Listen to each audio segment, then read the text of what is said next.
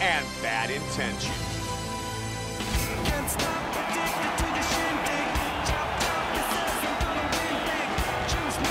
Our tale of the tape for the, the chosen one, Bad Intentions. Here we go. Tonight's fight is scheduled for three five-minute rounds. White trunks for Bad Intentions. Black trunks for the chosen one.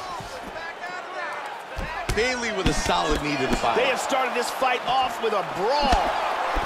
Caught him with a punch. Oh, beautiful combination. Whoa! Man, he's down. That shot dropped him.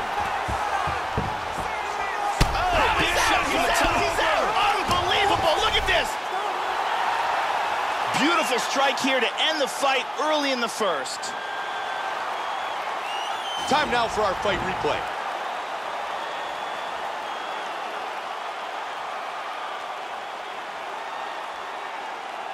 And here it is again.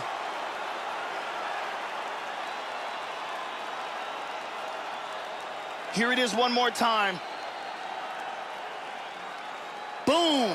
And then he's out.